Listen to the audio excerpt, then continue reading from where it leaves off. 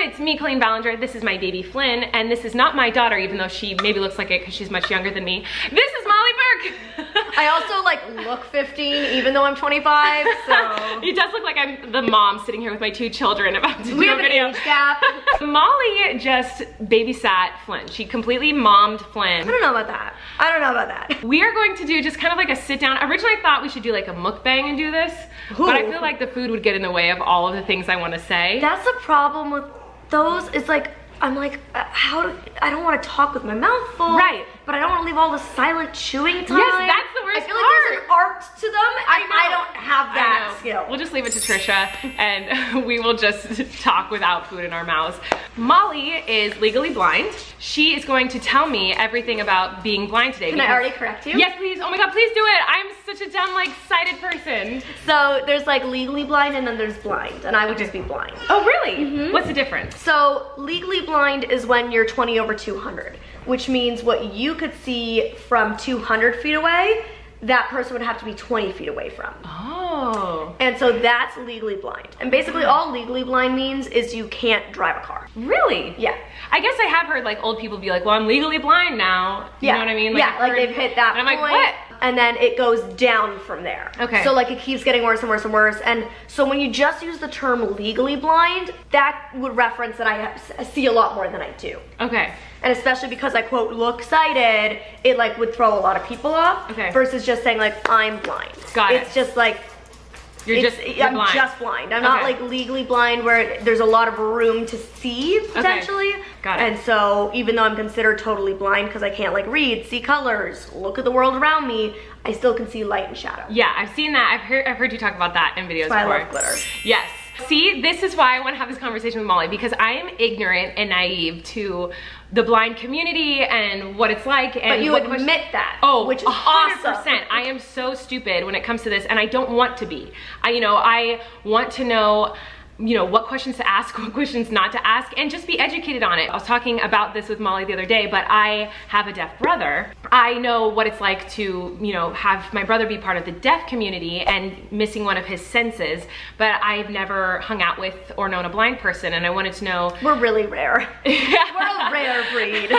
but I think it would be good for you guys to listen to and know, um, just educate yourselves more on it because I feel like that's the number one problem with all of this is mm-hmm. that people just have no idea and just uneducated on what. And when you're when you don't know, you're scared. And that's the biggest thing is when when people don't know, they're scared of offending you or saying the wrong Mm-hmm. thing, so they just avoid you. Blindness is already so isolating because you're missing so much connectivity with the world around you. To then have people like avoid you or tiptoe around you is the last thing we want. We can't make eye contact with you across the room at a party and start chatting. We need people to come up to approach us to make conversation, but when people are ignorant and scared and have never met a blind person, they're scared and they avoid us. Yeah, and right. that sucks. What my whole channel is, you know, devoted to doing is breaking the stigma, breaking the stereotype, breaking the wall down and saying like, let's have a conversation about Right. it. Let's talk about it. Ask me questions. I was so angry at society's ignorance that I was like, I can't just sit and be angry. I need to do something. Yeah. So I chose to actively dedicate myself to educating. And then I can't be mad when people are ignorant because I'm actively changing that problem. Right. The thing is, like, that's not every blind person's passion. Mm-hmm. That's not what every blind person feels like their mission on earth is to do. So I don't think it's appropriate to go up and feel like you can ask every blind person a question. Sometimes you just want to cross the street and grab your coffee.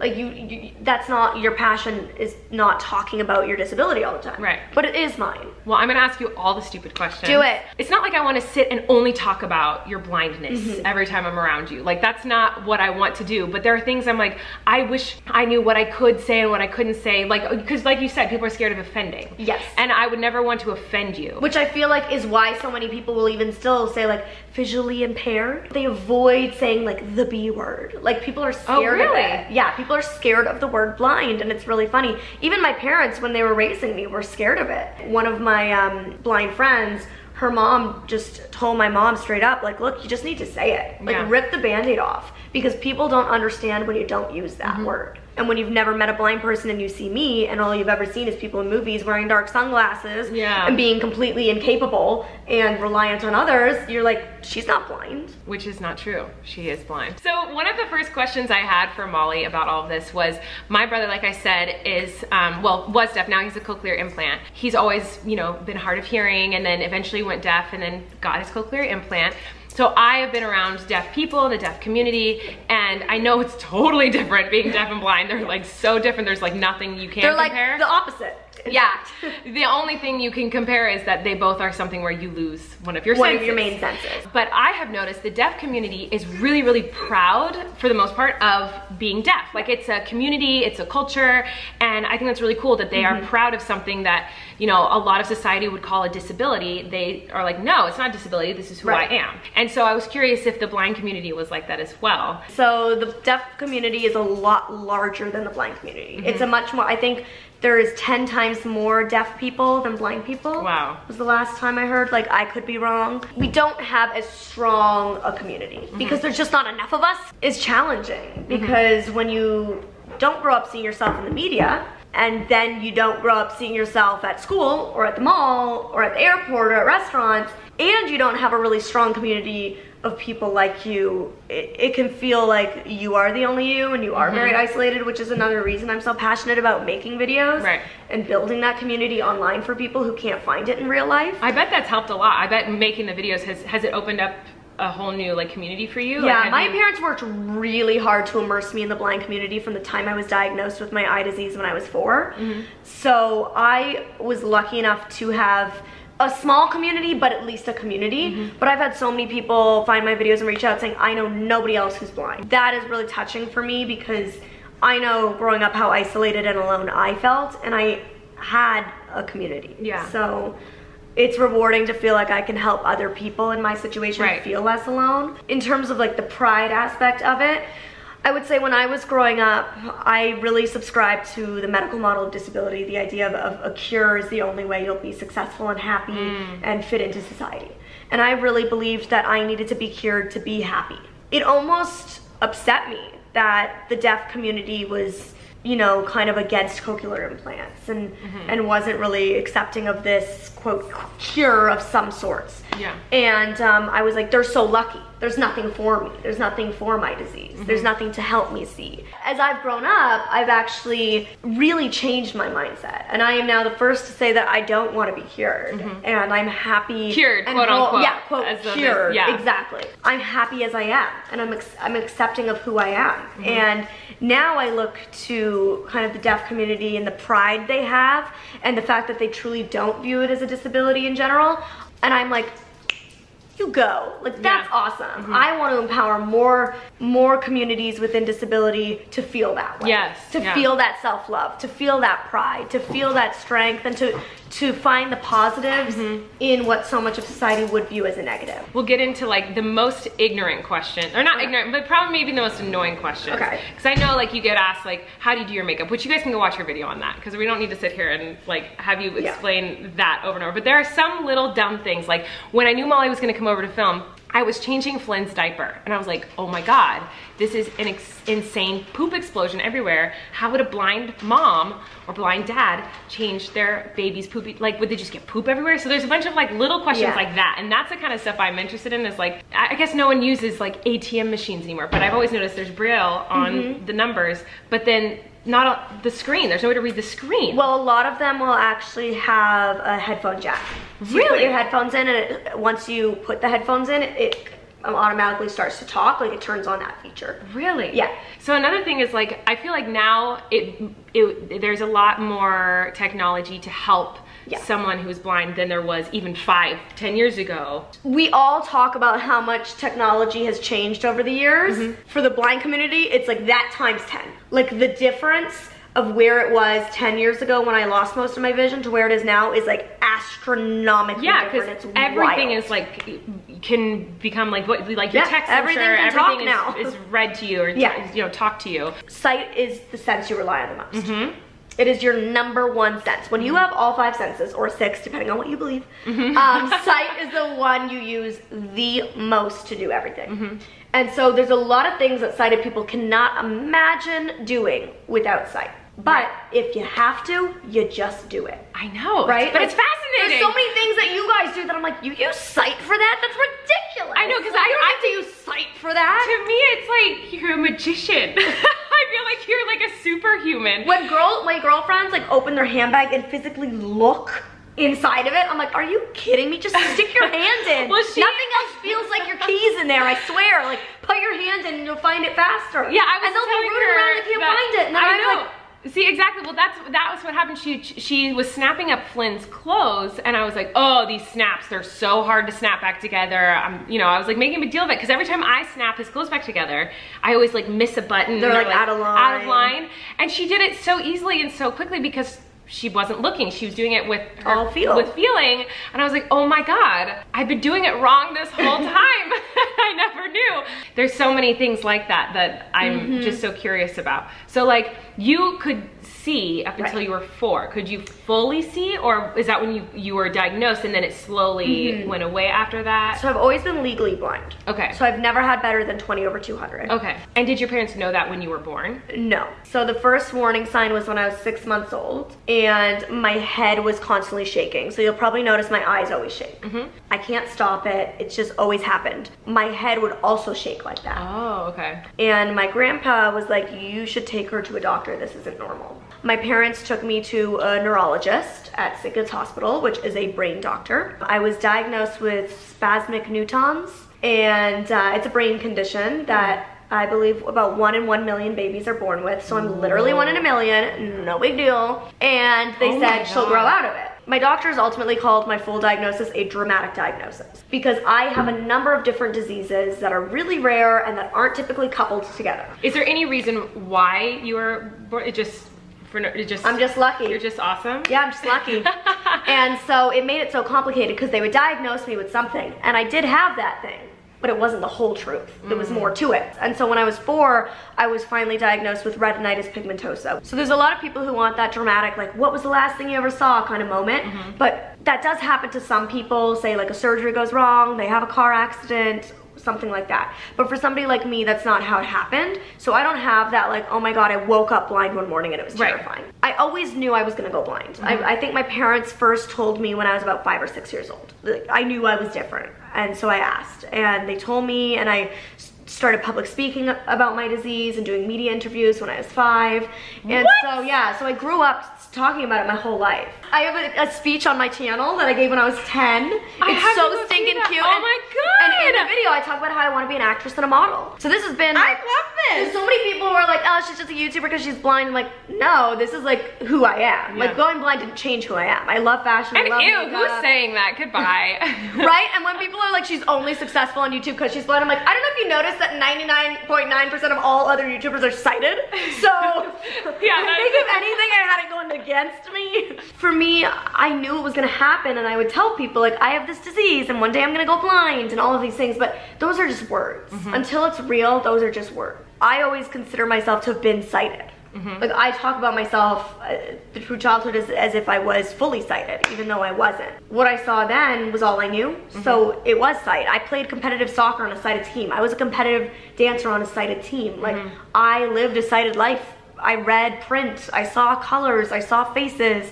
To me, I, was sighted. It's kind of like how we all know that our parent, like our mom or our dad, will most likely die before we will. Mm-hmm. We know that, but until it happens, we don't know how sad we'll feel. Right. We don't know how angry we'll feel. We, we don't know how long we'll lay in bed crying. We don't know how we'll deal with it. And so that's like me. It's like I always knew it, but you're never prepared for what it's gonna mm-hmm. feel like.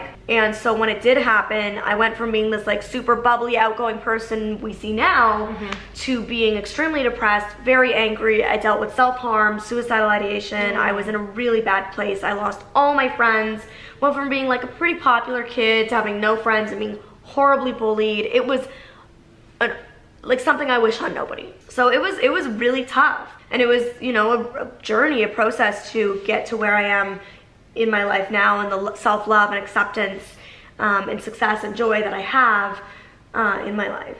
Oh my gosh, I'm getting so inspired. I feel like I'm having like you do one of your speeches like just to me right now on this on this couch and I'm like, oh my god, I'm so inspired. So there is something, and I know you've explained this in your videos. Mm-hmm. I don't know, I just feel like you're very good at fashion. Thank you. How does a blind person like explain to the audience? How does a blind person mm-hmm. like decide what to wear or go shopping or all of that stuff? Like explain. So I've done some videos where I actually like specifically show how I shop. I've done videos showing how I pair outfits from my closet. Basically, like I said earlier, going blind doesn't change who you are, it changes how you do things. Mm -hmm. So for me, I grew up obsessed with makeup and fashion, mm -hmm. just like I grew up obsessed with performing on stage. And mm -hmm. for me, it wasn't like, oh, I'm just gonna stop caring about makeup and fashion now that I can't see it.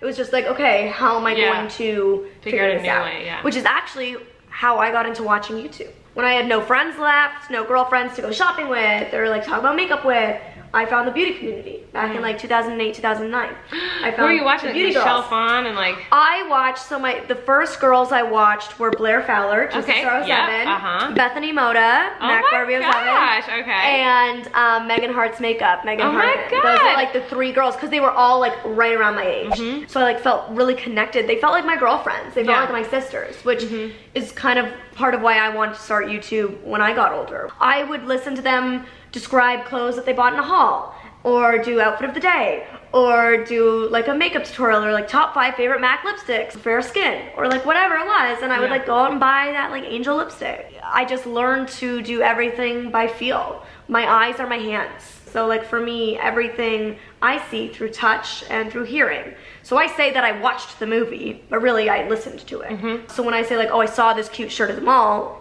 well, I felt that cute shirt. Mm -hmm. Self promo, I guess, but I have a Netflix show.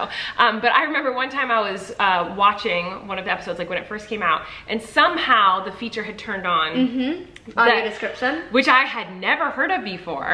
I had never heard of that. I didn't know that existed. I guess my ignorant brain just always assumed blind people when they watch things just listen to what I listen right. to. And so I was curious, do you use that? Mm -hmm. Because it literally was like, you know, I'm watching and I'm watching myself as Miranda and then it's all of a sudden I hear like Miranda stands up and walks across to Patrick or whatever right, and it was right. and it was explaining what was going on. I was like, what is happening? And I was so confused by like this extra you know, description. Audio track. And I was like, wait, is this how blind people watch movies and television? Like, do you use that? So growing up, it didn't really exist. I would just figure out which TV shows were naturally more descriptive, which tended to be a lot of medical shows, crime shows, documentaries, they're just more mm-hmm. descriptive. Or I'd watch it, if it wasn't kind of naturally descriptive, I would watch it with like a friend or family member and they would describe it. And then movie theaters started integrating it. They would offer headsets for some of their movies. So I started kind of getting a taste for it. For me, Netflix is they offer audio description on all of their Netflix originals. And no, is that how you watch hands it? Hands down, I do,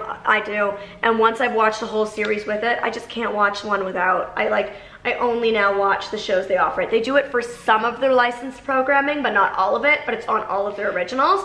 I used to be like, I'm not missing out on much, and now that I watch it with it, I'm right. like, I was missing out on so much. See, what's so interesting is like when that happened on my show and I was watching it, I was like, oh my gosh, how could anyone watch this? It's so distracting, is how I noticed it. Right. But at the same time, since my brother was deaf, I grew up with closed caption. Right. So I cannot watch a movie or television show without closed caption because that's how I was raised watching television and movies. Right. So even though I'm not deaf and I don't depend on it to hear what's going on, I have to read it in order to, under it's like I can't understand them unless I'm reading it. Like if I watch a movie, right? that's what you were. Raised, that's how that's I, what you know. That's how I learned to yeah. watch television and movies. So when other people come over and they see captions on my television, they're like, "Ah, how are you watching this? It's so distracting. Like all I can do is read it."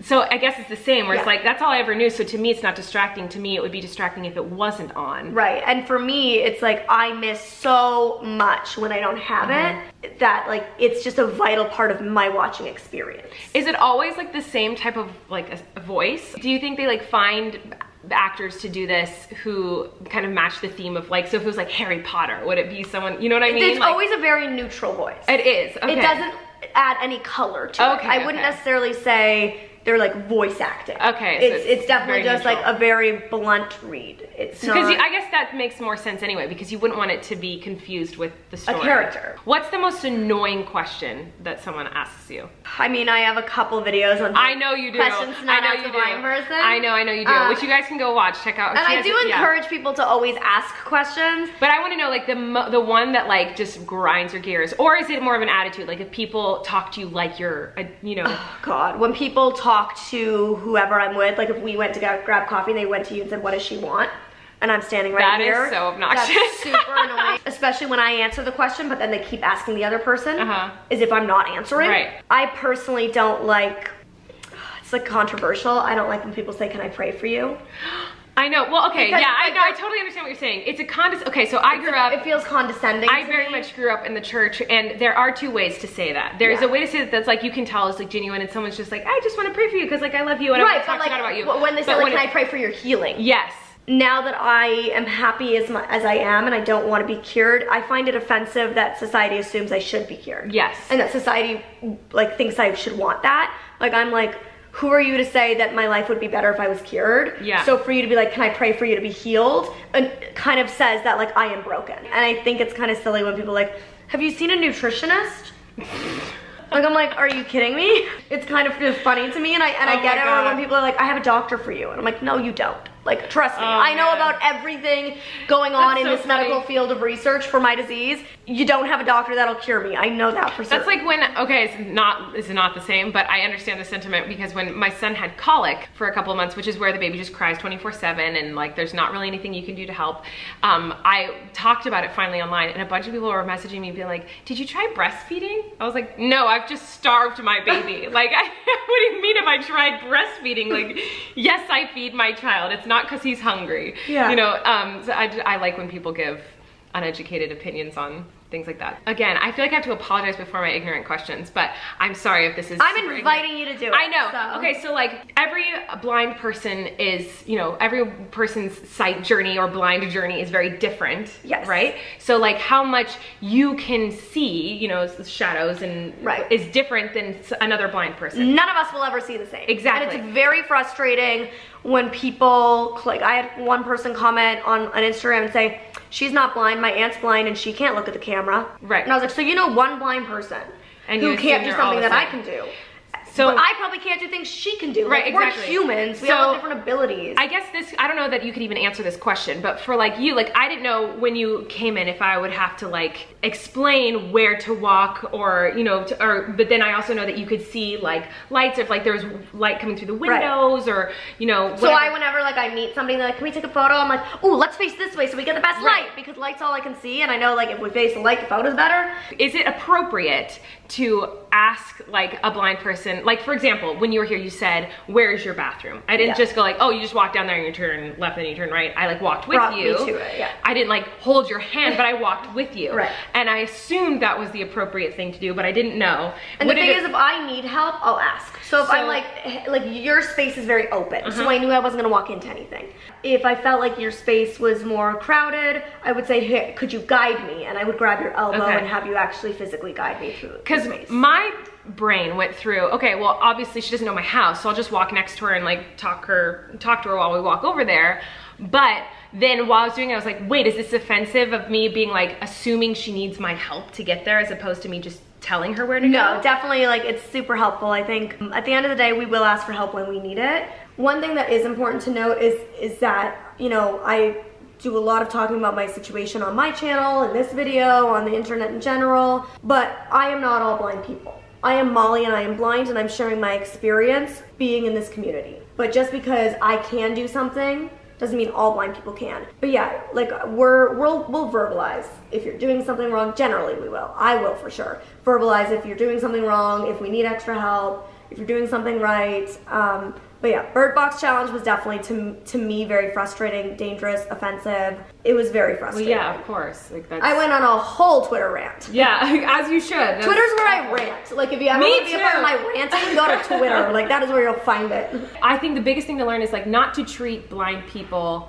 like they're severely disabled mm-hmm. or like there's something wrong with them. I think is the most important thing. And to ask questions, admit like I don't know and I'm only asking this because I feel ignorant about it. Right. As opposed to just assuming negative things about blind people or assuming, you know, I don't know. Is that I, I feel like that would be the best takeaway for someone. I want everybody to know that you know love and self-acceptance is really important Mm-hmm. and they are whole and good enough as they are and as who they are and that we're all humans and we Mm-hmm. all deserve to be treated as equals so much of society views me as less than Mm-hmm. expects less of me thinks i'll be less capable and i want to change that for other disabled people Yeah. whether they're blind or, or whatever other disability it is that you know we're humans and we have the same heart we, we care about the same things we're intelligent we're capable um, and we deserve opportunity so often i'll get comments that are like oh my god i don't know how she went through what she went through like i would just i would just die if i went blind and i'm like actually you wouldn't you would just figure it out Yeah. right like when life hands you a situation you just handle it because that's your only option. Mm-hmm. Listen to this public speaker over here, just inspirational speaker for everyone. Um, make sure to go check out Molly. Check out the video we did together on her channel because it was so fun amazing. Um, and there's going to be a lot more for me and Molly in the future because we have And me and Miranda. ideas. Yes, because I'm going to have to come up with a thousand questions right when you leave. But the good news is I can just find the answer now you on can your just YouTube text me channel. or, yeah um, but yeah, I'm so excited. Oh, actually, I did have one other thing I wanted to say. Um, so the, before you came over the first time, I took a picture of Flynn of him smiling, Mm-hmm. and I almost texted to you to say, "Oh my gosh, look, Flynn's so excited to to meet you." And I was like, because that's you know I've done that with a few of my friends, and I was like, wait, she can't see a picture of Flynn. yeah So and phones don't describe photos Right. So I was like, what do I? I can't send her a picture. Yeah, And so I you'll notice on my Instagram I do hashtag accessibility photo description. So on all of my Instagram photos I include a photo description. Oh. So you could just send it to me and be like, look, Flynn's so excited to see you, and then put in brackets like photo of Flynn smiling at the camera. Look at that! I never would have Yeah. thought to do that. Okay, so if I ever want to send you a picture, like a, just a GIF or whatever, I Give like a little explanation. explanation of what Mm-hmm. it is. Okay, I just thought of another question that I really wanted to ask Molly.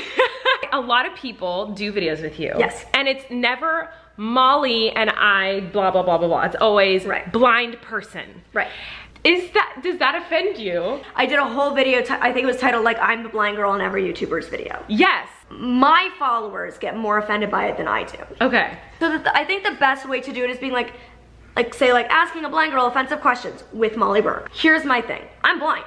Mm-hmm. Right? But it's not who you are. You But are it isn't- Molly. it isn't who I am. But this is an industry. This is a career. This is a job. Mm-hmm. That's clickable. And my thing is, I would rather people click on the video and watch it because then they get to be educated. Yes. Understood. Thank you. No need to be offended for me, but I appreciate you sticking sticking up for me. See, I, I'm already coming up with more questions to ask you, but I will just have to do another video, part two. We'll do an actual mukbang and we'll Mm-hmm. Ooh, eat food, food. and um, yeah. So anyway, I love you. Thanks for coming and Thank chatting with everyone. And she's been very patient with me and my son too, because being a mom is hard making a schedule. I don't know how. You, I, like I said, I literally don't know how you do it. well, girl, I don't either because I'm very tired. But um, subscribe to her. Make sure to leave a comment below, and uh, hopefully this has helped you guys uh, open up your eyes a little bit to no pun intended. no pun intended, uh, to the blind community, what it maybe is like a little bit to be blind, and what questions, if maybe we answered some of your questions today, and if we Yeah. didn't, go check out her channel because I'm already thinking of a thousand more questions. All right. Love you guys. See you next time. Bye. Bye.